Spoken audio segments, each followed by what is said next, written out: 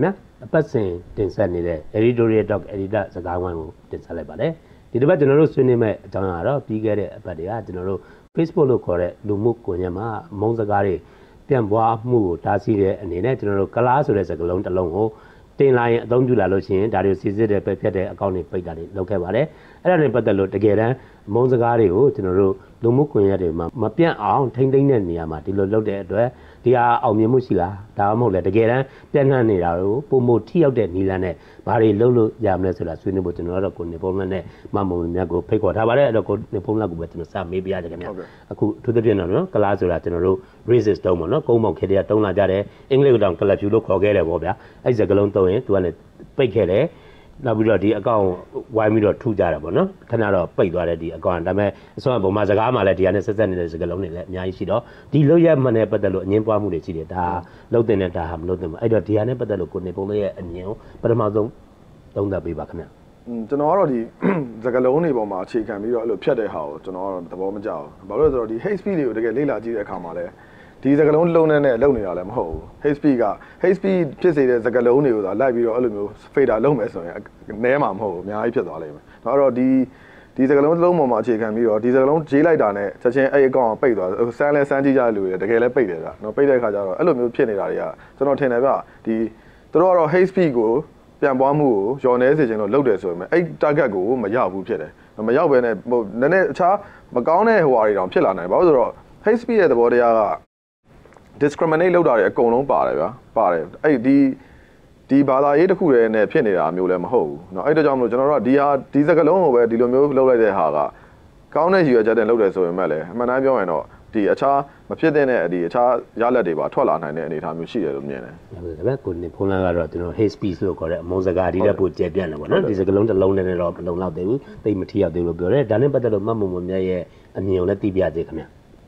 ကျမမြင်တာကတော့စစရီစကလုံးတစ်လုံးကို filter လောက်တာတဲ့ဆိုလို့ရှိရင်အခုဆိုရင်ကျမတို့ဒီ Facebook page တွေမှာအများပြည်သူမြင်မို့ရမသိတော့တဲ့ဟိုဓာတ်ပုံတွေပေါ့ crime scenes တွေပေါ့အခုဒီပြီးခဲ့တဲ့မိနစ်ရပဲဖြစ်ခဲ့နှစ်လောင်းပြန်လူသတ်မှုတွေပါလို့ဆိုကာယကံရှင်ရဲ့ဒီ လျော်တဲ့ကန်တဲ့ဓာတ်ပုံတွေပေါ့နော်အဲ့ဒီပုံတွေကသူတယောက်အချိန်ချင်းပြန်တတ်တယ်လို့ဖြစ်တယ်လေအဲ့လိုမျိုးပုံတွေ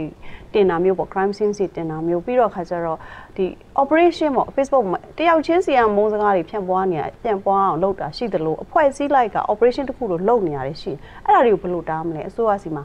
ဒီဒီဒီလိုမျိုးဟာတွေကို filter လုပ်ဖို့ရအတွက်အစီအမံရောရှိပြီလားပေါ့နော်လို့တကယ်တမ်းကျလိုအပ်နေပြီဥမာကျွန်တော်တို့ပြီးခဲ့တဲ့တစ်ခါဒေါ်စန်းစုကြည် ခီးစဉ်10ရက်အတွင်းမှာကိုဖြစ်သွားတဲ့ဟိုဟာတွေ conflict တွေဟိုဟာဒီကုန်းတွေအများကြီးပဲဒါလည်းစနစ်တကျ operation တစ်ခုလို့လုပ်သွားတယ်ဆိုတာဘန်ကိစ္စတွေဘန်တွေပြိုလဲတော့မှလားဆိုတဲ့ကိစ္စမျိုးတွေတမလာကြီးဥထင်ကျော်အနားယူတော့မယ်ဆိုတဲ့ကိစ္စမျိုးဒါတွေကတကယ်တမ်းကျတော့တကယ်ကိုစနစ်တကျစာမျက်နှာတွေ Facebook page တွေနဲ့လောက်တာတွေဒါမျိုးတွေဘယ်သူတွေက monitor လုပ်မလဲအစိုးရဘက်ကတာဝန်ရှိသူတွေအနေနဲ့ပြီးတော့ဒါတွေကိုတားဆီးဖို့ဒီလိုမဟုတ်မှန်မှန်နဲ့ကောလာဟလာတွေစနစ်တကျဖြန့်နေတာဘယ်လိုတားမလဲဆိုတာတွေကိုကျွန်မတင်တယ်မရှိဘူးဒီဟာတွေကိုစောင့်ကြည့်ဖို့ ဟိုအဖွဲ့အစည်းတွေစွမ်းအင်ဟို capacity တွေမရှိဘူးဆိုလို့ရှိရင်လည်းရှိအောင်အခုခုချိန်ဆိုင်ဘယ်လိုလုပ်မလဲအဲ့ဒါတွေကိုစဉ်းစားတင်တာစကလုံးတစ်လုံးပေါ်မှာအငင်းပွားနေမယ်အစားစနစ်တကျမရောက်အဲ့ဒါကြီးကတကယ်ကိုမရောက်ရစီလို့တဲ့အလုပ်လို့ပဲထင်တယ်ကျွန်မကတော့ဟုတ်ကဲ့ဒါပေမဲ့မဟုတ်ညကတော့ဒါနည်းနည်းလေး organize ပေါ့နော်ပို့ပြီးတော့အုပ်စုလိုက်စနစ်တကျလုပ်နေတဲ့ဟာတွေကိုဘယ်လိုကင်တွယ်မလဲနောက်တစ်ခုကတော့ power of picture ပါဗျာဓာတ်ပုံတွေပုံတွေမမြင်သင့်တဲ့ဟာတွေဒီလိုပြန့်နေတာတွေရောဘယ်လိုမျိုးကင်တွယ်မလဲပေါ့အဲ့ဒါနဲ့ပတ်သက်လို့တော့ကျွန်တော်ကိုနေဖုန်းလက်ကိုပဲထပ်မေးပြသေးတယ်ဆိုတော့ကတော့ ဒီကလားဆိုတဲ့စကလုံးကတော့စကလုံးတစ်လုံးကိုပဲဘာသာရေးနဲ့ဆက်နွယ်ပြီးတော့ပိတ်ပင်တာတခြားတကယ်တမ်းအစောကပြောတဲ့ဗန်တွေကိစ္စတို့နော်ဒီဒေါ်စုခီးသွားနေတဲ့10နှစ်10ရက်အတွင်းမှာလည်းဖြစ်လာတဲ့ဟာတွေဘယ်လိုလူမျိုးတွေနဲ့ဟိုဘယ်လိုမျိုးနဲ့ကျွန်တော်တို့ကင်တွယ်ကင်တွယ်သင့်လဲနောက်တစ်ခုကတော့အဲ့အတွက်ဘယ်သူတွေပါဝင်သင့်လဲအဲ့ဒါလေးကိုဖြည့်ဆက်ပြီးတော့ဆွေးနွေးပေးပါဦးခင်ဗျာအာကျွန်တော်တို့လည်းဒီ Facebook team နဲ့ကျွန်တော်တို့တွေ့တာတွေလည်းရှိပါတယ်ရှိတဲ့အခါမှာကျွန်တော်တို့လည်းအကြံပြုတယ်အကြံပြုတဲ့ထဲမှာတော့ဒီလိုမျိုးတော့မပါဘူးကျွန်တော်တို့အကြံမပြုခဲ့ဘူးကျွန်တော်တို့အကြံပြုတာကတော့တကယ်လေ မြန်မာနိုင်ငံရဲ့နိုင်ငံရေးကိုနားလည်တဲ့လူ common sense ရှိတဲ့လူပေါ့နော်အဲ့အဲ့လိုလူမျိုးတွေပါပြီးတော့ကျွန်တော်တို့အဖွဲ့တစ်ဖွဲ့ဖွဲ့တင်တယ်ဗျ။ကျွန်တော်အဖွဲ့ဖွဲ့ဆိုဟိုဘယ်လိုကဝန်ထမ်းသဘောမျိုးခန့်တာမျိုးမဆိုလို့ကျွန်တော်ပြောတာဒီလူတွေကနေပြီးတော့အာပို့တဲ့ report report တွေတင်တာတွေပါရှိမယ်ဆိုရင်ဒါတွေကိုအလေးနဲ့ထားပြီးစဉ်းစားရတယ်ဆိုတဲ့ပုံစံမျိုးပေါ့နော်အဲ့လိုမျိုးတွေကျွန်တော်ကတော့ရှိတယ်။ဘာလို့လဲဆိုတော့အခုဟာကကျွန်တော်ထင်တယ် Facebook မြန်မာတင်လည်းရှိတယ်ရှိတယ်သာပြောနေဘယ်သူတွေလုပ်နေမှလည်းမသိဘူး။ နောက်ပြီးတော့အခုဟာကအရန်သိတာတာပါလဲဆိုတော့မြန်မာနိုင်ငံရဲ့နိုင်ငံရေးအခြေအနေကိုတကယ်နားလည်တဲ့သူတွေကနေပြီးတော့ဟိုကင်တွယ်နေတာမဟုတ်ဘူးဆိုတာအရင်သိတာသိတာတဲ့ခါကျတော့ကျွန်တော်ကတော့အဲ့လိုမျိုးဖွဲ့ဖွဲ့နေခြင်းနဲ့ဖွဲ့ပြီးတော့အဲ့ဒီဖွဲ့ကနေပြီးတော့အဲ့လိုမျိုးအကြံပြုတဲ့ဟာတွေအဲ့ဒီဖွဲ့ကနေပြီးတော့လှမ်းပြီးတော့ report တင်တဲ့ဟာမျိုးတွေကိုအလေးပေးပြီးတော့တစ်ဖက်ကစဉ်းစားတဲ့ပုံစံမျိုးတွေအဲ့ဒါတွေလုပ်စေခြင်းနဲ့ဘာလို့ဆိုတော့ထုတ်တယ်တကယ်လဲတကယ်တမ်းကျတော့ဒီ တူတယောက်ချင်းစီကလုပ်နေတာတွေထက်ခုနက organize လုပ်ထားတဲ့ဟာတွေကပိုဆိုးတယ်ရွေချက်ရှိရှိနဲ့ကိုတော့ကျွန်တော်တို့ဒါ page တွေထောင်တယ်ပြီးတဲ့ကောင် account တွေခွဲထားတယ်ပြင်ရွေချက်ရှိရှိနဲ့ကိုဒါသတင်းတွေကိုအဲ့လိုမျိုးအမှားတွေဖြန့်တယ်ဆိုတဲ့ဟာမျိုးတွေကအဲ့ organize လုပ်တဲ့ဟာတွေကိုကင်တွယ်ဖို့ကြတော့ကျွန်တော်ထင်တယ်ဗျ Facebook ကလည်းနီလန်းရှာတင်တယ်လို့ကျွန်တော်တို့ကျွန်တော်တို့အစိုးရအနေနဲ့နီလန်းရှာတင်တယ်နီလန်းလည်းရှာတင်တယ်နောက် capacity လည်းဖြည့်တင်တယ်နှုတ်ဆိုရင်ဒီနောက်ပိုင်းတွေကဖြစ်လာဖြစ်ခဲ့ဘူးတဲ့ပြဿနာတွေပြန်လေ့လာတဲ့အခါမှာလည်း online ကနေ initiate လုပ်တာတွေအများကြီးတယ်။နော်အဲ့တော့အရန် ဟိုဖြစ်လည်းဖြစ်ခဲ့ဘူးလေနောက်လည်းအများကြီးဖြစ်လာနိုင်တော့ Facebook ရောအစိုးရရောဒီအတွက်ကိုတေချာကြိုပြီးပြင်ဆင်တဲ့တယ်ထင်တယ်ဟုတ်ကဲ့ခင်ဗျာကိုနေဘုံလာကတော့ဒါ Facebook team ရော Facebook ပိုင်ရှင်ရောကျွန်တော်တို့ဗမာတွေတုံးတဲ့ user တွေဘက်ကရောဒီဟာကိုကျွန်တော်တို့ပြန်လာပြီးတော့ဒီဒီချာချာကင်တွယ်တင်တယ်ဗောနော်နောက်တစ်ခုကလည်းဒီဟာတွေကဥပမာကြောင်းနေမောကိစ္စတို့နော်ကျွန်တော်တို့ဒီမိတ်တီလာကိစ္စအကုန်လုံးလည်းကျွန်တော်တို့ဒါဟို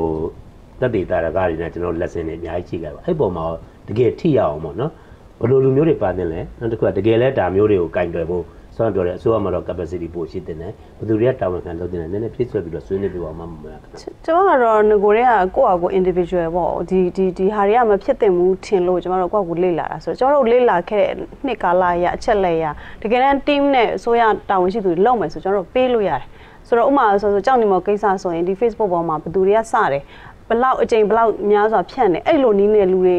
ဒုက္ခရောက်တယ် conflict တွေကြီးထွားလာတယ်ဒါမျိုးတွေကကျွန်တော်တို့စီမှာရှိတယ်နောက်ပြီးတော့ဒီဒီ account တွေဒီလိုမျိုးလောက်တဲ့သူတွေ domain တွေဘယ်သူတွေစီမှာရှိတယ်ဘယ်သူတွေဖွင့်ထားတယ်ပြီးတော့အောက်စုလိုက်ကြီးဥပမာဆိုဆိုကျွန်တော်ပြောတာဒီလိုမျိုးဒီသတင်းတစ်ပုဒ်ကိုဖြန့်လိုက်တယ်ဟာ domain အခုတရာတပြိုင်နက်တည်းဖြန့်တယ်ဆိုပါစို့ domain 100ဆိုတာကကျွန်တော်ပြောပြပြမယ် domain 100ဆိုတာ random မဟုတ်ဘူးဒီတိုင်းကြီးဟိုဘယ်လိုပြောမလဲတယောက်ချင်းကလောက်တာမဟုတ် operation တစ်ခုလို့လုပ်နေတယ်ဆိုတော့ number ကထွက်လာ domain 100ဆို random number မဟုတ်ဘူးကျွန်တော်ပြောစနစ်တကျလောက်ထားတဲ့ number ဆိုတော့အဲ့အမျိုးတွေဆိုရင်ကျွန်တော်တို့ကတကယ်လိုက်မယ်ဆိုရင်တကယ်စနစ်တကျဤပညာနဲ့လိုက်လို့ရတဲ့ဟာတွေအများကြီးရှိပါတယ်တိတိကျကျပဲအဖွဲ့အစည်းပါဆိုကျွန်တော်တို့လက်ညှိုးထိုးပြီးမပြနိုင်အောင်မရှိမယ်အစိုးရတရက်အနေနဲ့ဒါလုပ်လို့ရတဲ့နည်းတွေအများကြီးရှိတယ်ဟုတ်ကဲ့အဲ့ဆိုအဲ့ဒါတော့လုပ်ဖို့တင့်ပြီလို့ကျွန်တော်ထင်တယ်ဟုတ်ကဲ့ဟိုမြန်နေတာတကယ်စနစ်တကျကင်တွယ်မယ်ဆိုရင်ကင်တွယ်လို့ရတဲ့ကိစ္စပေါ့နော်ဒါမှကင်တွယ်သေးလို့ဒါနောက်တစ်ခုကလည်းကျွန်တော်တို့ဒီဟာတော့ ဟိုဥပဒေအရကျွန်တော်တို့ဗမာပြည်မှာတော့ hate speech law တွေပါရှိသေးဘူးပေါ့နော်အခုလောလောဆယ်လူမှုကွန်ရက်မှာဒါပေါ်မှာတနိုင်ငံနဲ့မဟုတ်ပါဘူးအိန္ဒိယချင်းထိုင်းနိုင်ငံမှာလည်းပြီးခဲ့တဲ့တစ်လလောက်ကဟိုသူတို့အချိန်တစ်ခုပေးတယ်အဲ့တွင်မှာ site 130လောက်မှမဖြတ်ပေး Facebook ကိုပိတ်မယ်လို့လုပ်ခဲ့ပါတယ်အဲ့လိုပဲဘင်္ဂလားဒေ့ရှ်မှာလည်းပိတ်ခဲ့တယ်ဂျာမနီမှာလည်းဖြစ်တယ်ကျွန်တော်တို့ဒီ American ရွေးကောက်ပွဲမှာလည်းပါခဲ့တယ်ပေါ့အဲ့တော့ဒီဟာတွေကတော့တကယ်ဖြစ်ခဲ့တဲ့တာရကပေါ့နော်ဗမာပြည်မှာတကယ်အသုံးပြုတဲ့လူတွေအနေနဲ့ရောအဲ့ဒါကိုဘယ်လိုနားလဲပြီးတော့ ဘယ်ဟာကိုတော့ကိုကသုံးတဲ့နဲ့ဘယ်ဟာကိုတော့ဆက်ပြတ်တဲ့နဲ့အဲ့ဒါနဲ့ပတ်သက်လို့ဘယ်လိုအကြံပေးလို့ပါလဲဖြစ်ဆွဆွေးနွေးပြပါဦးကိုနေဖုန်းလာခင်ဗျတကယ်တမ်းကျတော့လေတလား Facebook မှာလည်းတကယ်တမ်းကျတော့ community standard ဆိုတဲ့ဟာတွေရှိတယ်။မပြီးတဲ့အခါမှာခုနကဘယ်ဟာတွေမတင်သင့်ဘူးဘယ်ဟာတွေမ share သင့်ဘူးစသဖြင့်အဲ့ဒါတွေလည်းတော်တော်များများရှိတယ်ဗျ။ဒါပေမဲ့ခက်တာကျွန်တော်တို့ရှိမှာအဲ့ဒီဟာတွေပုံမှာဘယ်သူမှလည်းသွားမဖတ်ဘူး။ဘယ်သူမှလည်းဟိုအခြေအတီကိုမလုပ်ဘူး။အဲ့တော့ Facebook ကတော့သူတို့ဒီစာအုပ်လေးတွေတော့မြန်မာလိုဘာသာပြန်ပြီးတော့ထုတ်ဘူးပဲ။မထုတ်ဘူးတော့အဲ့ဒီနီးပညာကိုပေါ့ဗျာဒီ effectively ပေါ့နော်ထိရောက်စွာဘယ်လိုမှန်မှန်ကန်ကန်သုံးမလဲဆိုတဲ့ကိစ္စနဲ့ပတ်သက်ပြီးတော့ဒါပြည်သူလူထုကိုမဖြစ်မနေ educate လုပ်ဖို့လိုတယ်ဗျ။ရေရှည်အတွက်ဆိုရင်တော့ဒီ education system နဲ့ဒီနည်းပညာနဲ့ကိုကျွန်တော်ကချိတ်စေခြင်းတယ်။ကျွန်တော်ချိတ်မှနားလည်မှာသဘောအခုကသဘောတဘာဝကိုနားမလဲဘူး။နော် Facebook ရဲ့သဘောတဘာဝကိုနားမလဲဘူး။ခုနကသတင်းအတုတွေရဲ့သဘောတဘာဝကိုနားမလဲဘူး။နားမလဲတဲ့အခါမှာလူတွေအကုန်လုံးကဒီ Facebook ကြီးဆွဲဟမ်းမြတော့ပါတဲ့အနေအထားမျိုးဖြစ်ဖြစ်နေတယ်။ဖြစ်ဖြစ်နေတဲ့အခါကျတော့ကျွန်တော်ထင်တယ်အဲ့ဒီဟာကိုရေရှည်အတွက်ဆိုရင်တော့ဒီ education system ထဲမှာပါဒီနည်းပညာနဲ့ in touch ပေါ့နော်ထိတွေ့နေပြီးတော့လူတွေဟာနည်းပညာရဲ့သဘောတဘာဝတွေကိုသေချာနားလည်တယ်ဆိုတဲ့အနေအထားမျိုးဖြစ်အောင်လုပ်သင့်တယ်ထင်တယ်ကျွန်တော်တို့ကဟိုတရုတ်မှာလိုမျိုးနောက်ပိုင်းဖြစ်သွားမှာလဲကျွန်တော်ကစိုးရိမ်တယ်နော်ဒီကဒါကြီးကမကောင်းအောင်ဒါကြီးကဒီလိုမျိုး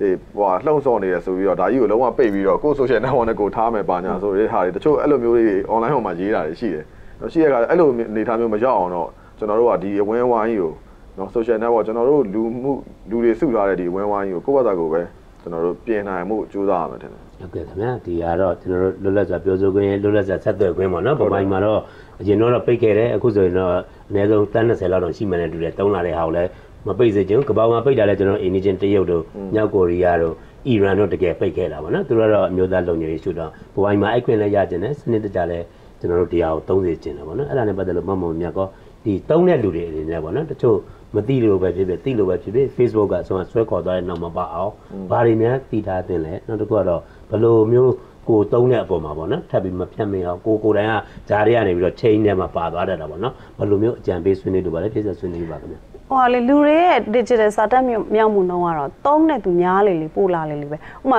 ကျမတို့ရှင်းကြည့်မယ်ဆိုခဏနှစ်ခုပဲ2010မှာအင်တာနက်သုံးတဲ့လူဦးရေတိန်းကနက်မရှိတသိန်းတသိန်းကြော်ကြော်လေးပဲရှိအခုဆိုလို့ရှိရင်လူဦးရေထက်ဝက်လောက်လို့ဆိုပြီးတော့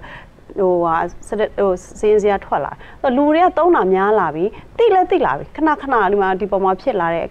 ခု conflict တွေဟိုဟာတွေပေါ့နော်ဒီဒီလိုမျိုးဘာဝါဒဖြန့်တာတွေတိလာပြီဆိုတော့တောင်းတောင်းဝါဒဖြန့်မှုကတော့မတိုးတော့ဘူးဒါပေမဲ့နေ့စဉ်နဲ့အမျှတစ်ခုခုဝါဒဖြန့်တာတွေကိုလူတွေကစသုံးတဲ့ user အသစ်တွေကတော့ဝါဒဖြန့်လို့လွယ်မှာပဲ ဆိုတော့အဲ့ဒီလူတွေကိုလည်းဟိုဘယ်လိုပြီးတော့ဘယ်လိုပြောမလဲဒါနဲ့ပတ်သက်ပြီးတော့ဟိုတက်နိုင်သမျှအသိပညာပေးမှုအဖွဲ့အစည်းမှဆိုတာဆိုအမုံအမုံစကားတွေနဲ့ပတ်သက်ပြီးတော့ပန်းစကားလိုအဖွဲ့အစည်းမျိုးတွေလောက်တဲ့ဟာမျိုးပေါ့အဲ့လိုမျိုးအချင်းချင်းလဲကျွန်တော်တို့ဒီဟာတော့ပြောတင်တယ်ပေါ့နော်အခုဆိုတော်တော်များများ social media ပေါ်မှာကျွန်မထင်ပါတယ်လူတွေက awareness ကမြင့်လာတော့တယောက်နဲ့တယောက်လဲဒါကတော့သတင်းအမှားကြီးဒါကတော့မဟုတ်ဘူးဆိုတော့ဒါတွေကနေ့စဉ်နဲ့မျှတယောက်ချင်းကွာလုံနေရမှာအစိုးရမလုံပေးနိုင်ဘူးဆိုကွာကိုလုံရမှာပဲကျွန်တော်တို့ media သမားအနေနဲ့ကျွန်မကတော့ ကိုသိသမျှကတော့တက်နိုင်သမျှ inform လုပ်ဖို့ကြိုးစားဒါကြီးကတော့အတူကြီးပါစောင်းမရေးတဲ့အနေနဲ့သွားမယ် media တွေကတစ်ဆင့်စောစောပြောတဲ့ကိုယ့်ရဲ့ user တွေကြားထဲမှာအသိမြင်ပွင့်လင်းလာအောင်လုပ်မယ်ဆိုရင်ကျွန်မထင်ပါတယ်တစ်ဖက်တစ်လမ်းအစိုးရအကူအညီရောက်မယ်လို့လည်းထင်တယ်ကျွန်တော်တို့နိုင်ငံရဲ့တည်ငြိမ်အေးချမ်းမှုအတွက်လည်းထောက်ပံ့ဖြစ်မယ်လို့ထင်တယ် ဟုတ်ကဲ့ခင်ဗျာဒါမှမဟုတ်များတော့ digital literacy ပေါ့နော်ဒီ digital စာတတ်မြောက်မှုကိုပြောသွားတဲ့ကျွန်တော်အခုနောက်ဆုံးအနေနဲ့ကတော့တကယ်တမ်းကျတော့ကျွန်တော်တို့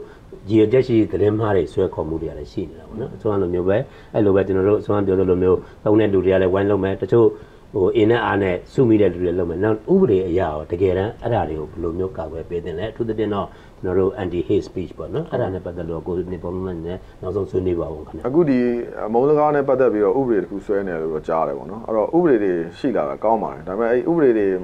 ဟိုမတီးခင်မှာပေါ့နော်တေချာတော့ဟိုဟာ consultation ပေါ့နော်တေချာပါဝင်ပတ်သက်တဲ့သူတွေပြည်သူတွေနဲ့ကျွန်တော်တို့ ထိထိရောက်ကျွန်တော်တို့ဆွေးနွေးသင့်တယ်ဗျာဘာလို့လဲဆိုတော့ဥပဒေက TV မှာ TV ပြီဆိုရင်အဲ့ဟာဥပဒေကြီးကမကောင်းရင်လည်းမကောင်းတဲ့တန်ကိုပြည်သူပဲခံရမှာအဲ့တော့အဲ့လိုမျိုးဖြစ်တယ်ရှိတယ်နောက်တစ်ခုကဥပဒေတစ်ခုတည်ပြီးရင်ဥပဒေကိုဘယ်လိုသုံးလဲဆိုတဲ့ကိစ္စပဲအခုဆိုရင်တချို့ဥပဒေတွေရှိတယ်ဒါပေမဲ့သုံးတဲ့သုံးပုံသုံးနေရမှားနေတာပေါ့ဗျာအမှန်မှာဆိုပါတော့ကျွန်တော်တို့ telecommunication law ဆိုတာရှိတယ်နော်ပြီးတဲ့အခါမှာ electronic transaction law ဆိုတာလည်းရှိတယ်ဒါပေမဲ့အခုသုံးတဲ့ဟာကခုနက end user လို့ခေါ်တဲ့ပြည်သူတွေကို နှိပ်ကွတဲ့နေရာမှာပဲသွားသုံးနေတယ်တကယ်တမ်းဤပညာနဲ့ဤပညာကိုသုံးပြီးတော့ခုနကဝါဒဖြန့်နေတာမျိုးတွေသတင်းမှားတွေလုပ်နေတာတွေနောက်ပြီးတော့ main ကလေးတွေကိုစော်ကားတာတွေတကယ်ဒီဟာတွေကိုတော့လွတ်ပေးထားတယ်နော်အဲ့တော့လွတ်ပေးထားပြီခုနကဟိုဘာဘာမဟုတ်တဲ့ဟိုနည်းနည်းအတုံးလုံးလေးမှားတာနဲ့6 6ကာကြီးနဲ့ဆွဲတယ်ဆိုတဲ့ပုံစံမျိုးတွေသွားဖြစ်တယ်ဖြစ်တော့အဲ့တော့နှစ်ပိုင်းပေါ့နော်ဥပဒေပြုတ်ပြီးတဲ့အပိုင်းဥပဒေမပြုတ်ခင်အပိုင်းနဲ့ဥပဒေပြုတ်ပြီးအပိုင်းတော့မပြုတ်ခင်အပိုင်းမှာတေချာစနစ်တကျတိုင်ပင်ဆွေးနွေးမှုတွေလုပ်လုပ်တင်တယ်ပြုတ်ပြီးတဲ့နောက်မှာလည်းဒီဥပဒေကို ကျွန်တော်တို့ misuse မလုပ်စေချင်ဘူးเนาะမှန်မှန်ကန်ကန်တကယ်ထိရောက်တဲ့နေရာမှာတကယ်ပြည်သူလူထုကိုအကာအကွယ်ပေးတဲ့နေရာတွေမှာကျွန်တော်တို့သုံးစေချင်တယ်အဲ့လိုမဟုတ်ဘဲနဲ့အခုကမယောင်ရပဲစီလူးပြီးတော့တကယ်ခံစားနေရတဲ့ပြည်သူတွေကိုတော့ဒီဥပဒေတွေကအကာအကွယ်မပေးနိုင်ဘူးဖြစ်နေတယ် ဟုတ်ကဲ့ခင်ဗျာမုံတရားတွေကျွန်တော်တို့ Facebook လို့ social ကျွန်တော်တို့လူမှုကွန်ရက်တွေမှာကင်းဝေးပါစေလို့ဆန္ဒပြုရင်ဒီစကားဝိုင်းကိုဒီမှာပဲညံပါပါတယ်အခုဒီ season ကိုကြည့်ရှိတဲ့အတွက်အားလုံးကျေးဇူးတင်ပါတယ်ခင်ဗျာ